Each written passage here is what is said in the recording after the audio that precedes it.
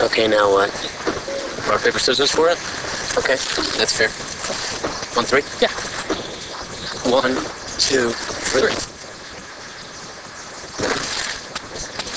I threw paper. I threw a rock.